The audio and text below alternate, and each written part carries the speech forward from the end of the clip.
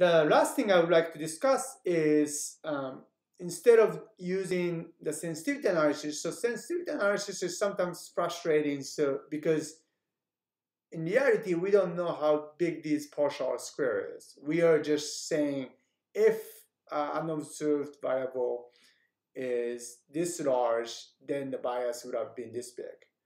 And, you know, so that's an important, um, uh, important thought exercise, but it doesn't solve the unobserved confounding uh, problem. So the question is, are there ways to, um, you know, uh, actually directly address selection bias? And in economics, there is a, a long tradition of uh, selection bias, uh, selection models to address this issue. So I'm going to um, start with uh, this canonical model that uh, proposed by Heckman in, back in 70s. So suppose we have the outcome model that's linear, okay?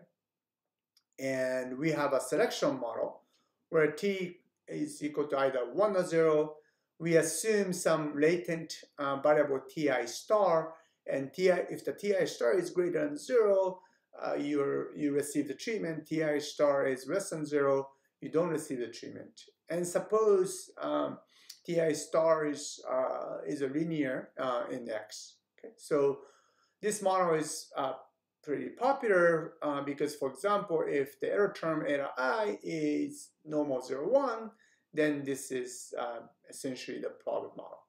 Okay? So you can think of this uh, as a probit model, as a selection model who gets treatment, and the outcome model is the linear regression we've been studying. So why selection arises, selection bias arises in this context. So what does that mean?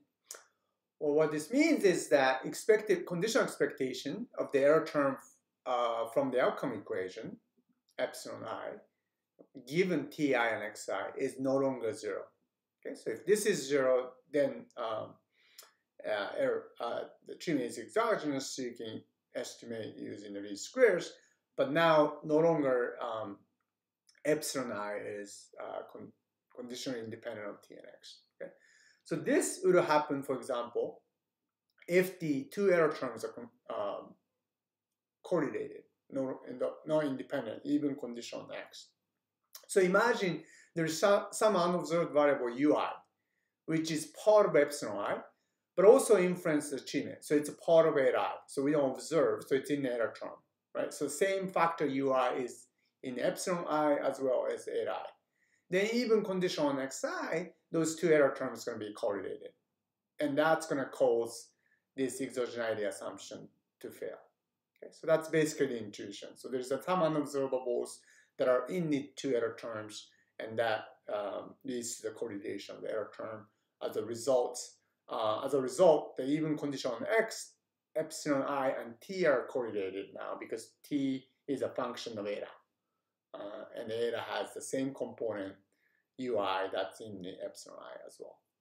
Okay, so now how does it work? So we can take expectation uh, for the treatment group and expectation of y given x and t equal 1 and um, using this model. So everything, you know, t and x comes out and everything becomes, uh, is up to this conditional expectation of error term given x and t equal 1. Now, t equal 1 means that uh, ti star is greater than 0, which means that eta i is greater than uh, minus lambda minus delta tx.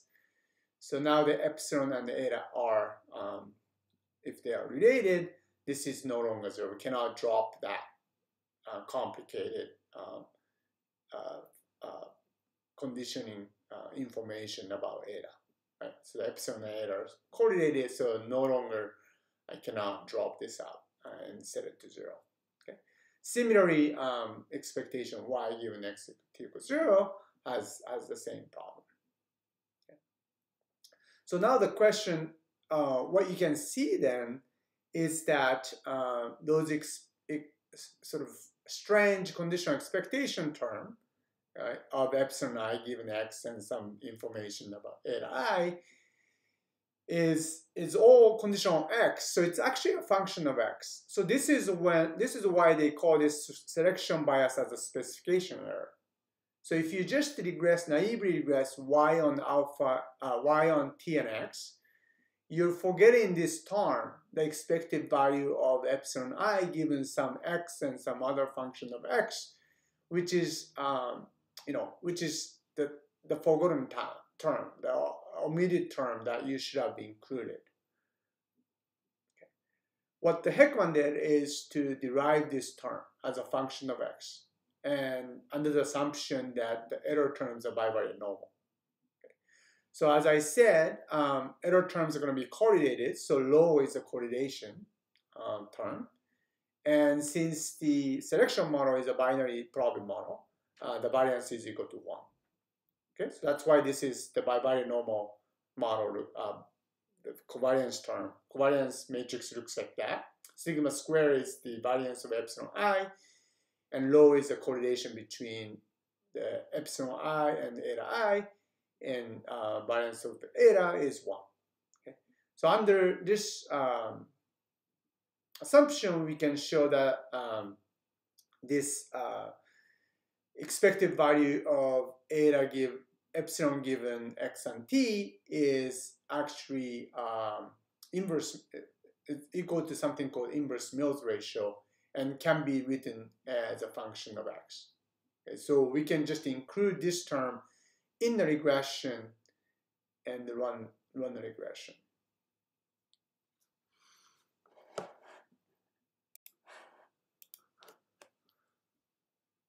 So what Heckman showed is that this omitted variable, uh, conditional expectation of epsilon given x and t, is equal to the following formula.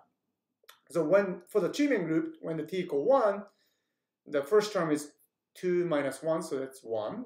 Um, and so that's going to equal to the second term, which is the product of the correlation times the standard deviation sigma. And then there's this ratio in the numerator, you have density of standard normal evaluated at uh, lambda plus delta times x. And in the denominator, you have CDF of standard normal evaluated at lambda plus delta times x. Okay. So what this, um, and in the control group, the first term is going to be 2 times 0 minus 1, so it's basically minus of this, this whole, um, whole expression. So what this suggests is the um, uh, two-step estimation. Okay, so you can do a two-step estimation. In the first step, you can uh, estimate the probit model, fit the probit model, and get an estimate of lambda and delta. And once you get those estimates, you can plug that into this uh, expression and then use that as additional covariate in addition to t and x. Okay, uh, multiplied by 2t minus 1, obviously, that's a plus and minus. And then the coefficient of that term, and then run regression. So then you regress basically y on t and x, and 2t minus 1 times this uh, ratio, inverse Mills ratio. And the coefficient is going to be lambda times sigma. That's going to be the coefficient.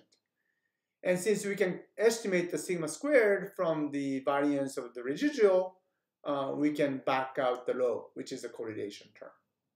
Notice that when the correlation is zero, that is the two error terms are uncorrelated, then this term is going to be zero.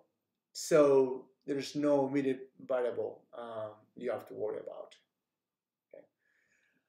Now this is like a magic where you have you had an observed variable you're concerned about, but through some mathematics, um, you are uh, magically reduce the problem to this specification error, and in, in addition, you can compute this omitted variable as a function of x, and then control for it. Okay. However, what's really important here is all of this calculation depends on uh, linearity and the bivariate normal error assumption. Okay, that's the thing that that that's the assumption that really allowing you to compute this omitted variable even though that's supposed to be unobserved, you can compute it as a function of the observed variable because you made this linearity and bivariate normal assumption. So if those two assumptions are invalid, then this whole procedure is going to lead to the invalid inference. So this is why I wrote this here as identification by parametric assumption. Right? So this is um, this is not identification by design. It wasn't like a research design, like a regression discontinuity design. It was this is identification by assumption about error term distribution and the linearity of the model. So although this um, method was very, very popular in 80s and 90s, um, uh, it hasn't, it, it's no longer used very much uh, because people, researchers now uh, are concerned more about the credibility of causal inference. Um, so I will um, uh, briefly sort of mention the uh, extension of this type of method, uh, which has been developed in the literature. Um, okay. It's called control function method. Okay. So you can generalize the Heckman selection model idea.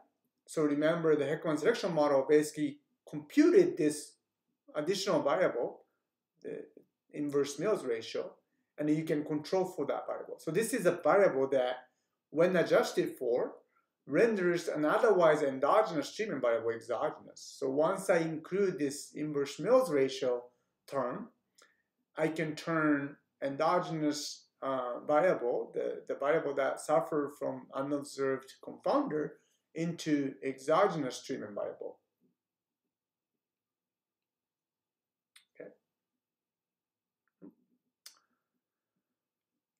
So for non-parametric identification, instead of parametric identification that um, that Heckman proposed, we need uh, instrumental variables. Okay, so this uh, Heckman selection method is sort of developed into control function method that um, exploits the instrumental variables, uh, the existence of instru instrumental variables. And for example, if you think about the two-stage squares we discussed earlier, uh, we can actually formulate the two-stage square in a different way. So usually the two-stage squares is that first stage you regress the treatment on the instrument and then compute the predicted uh, treatment value and then include that in the outcome regression. So regress y on the predicted treatment. Okay. Instead, what you can do is regress the treatment variable on the instrument and the covariates and get the residuals. So this is the residual variation in the treatment that's uh, not associated either z or x. And then you can regress the outcome on the treatment variable and x and this residual. Okay. It turns out that this um, gives you the same uh, uh, estimate as the standard two-stage squares estimate. Okay? So in this case, we can call this eta hat, these residuals, as a control function. So uh, it turns out this idea of control function method, so come up with this uh, control function eta hat um, that will make the treatment, endogenous treatment exogenous, uh, we can um, generalize this further. So there's sort of uh, the literature on this, and, and you can do this more non-parametrically. And so the Imbens and Newey considers uh, this something called triangular system, where you have y as a function of endogenous treatment t, and then the treatment is a function of the instrument z. Okay, and they show that in this type of setting, that uh, control function is a CDF of the treatment uh, given the instrumental variable. And once you control for this function, then the error term is no longer um, dependent on the treatment. So treatment becomes exogenous. Okay.